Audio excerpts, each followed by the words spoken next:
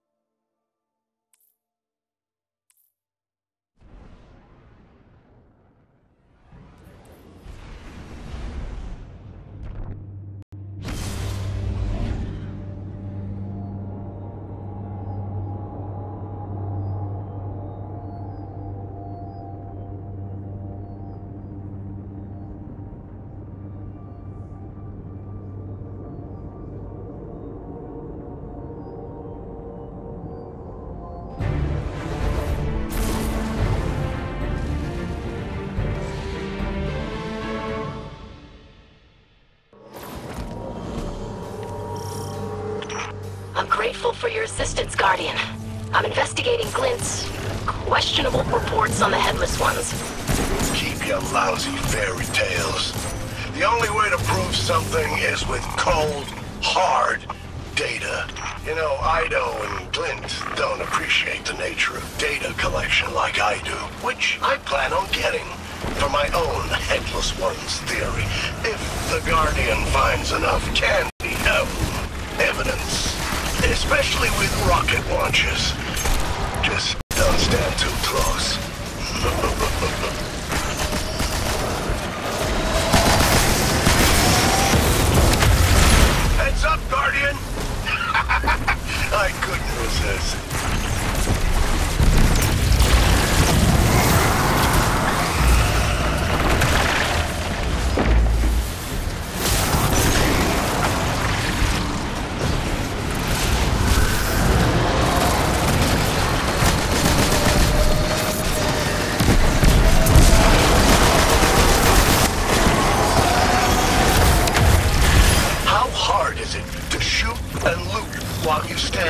Inside a circle?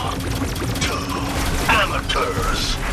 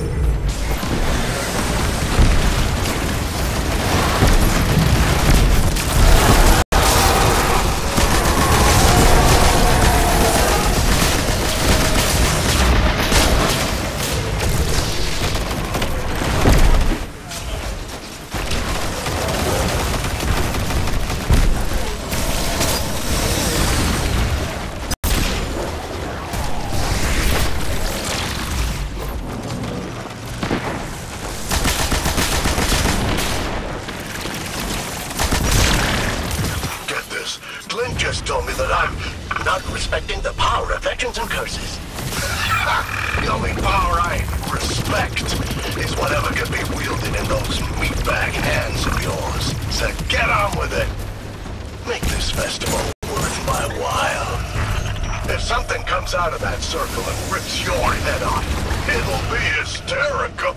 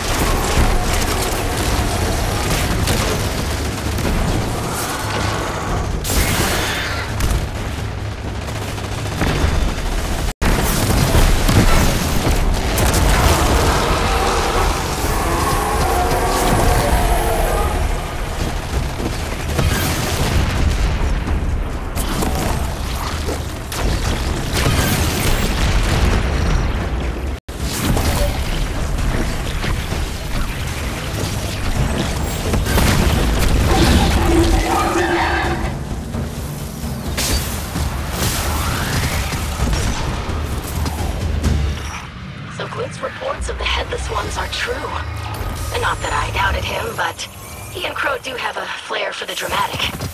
You say dramatic. I say pathetic. However, this mission has created more questions than answers. How did these monsters end up on Earth? Why do they only appear at a certain time of year? And what does it have to do with the ancient human ritual known as the Halloween?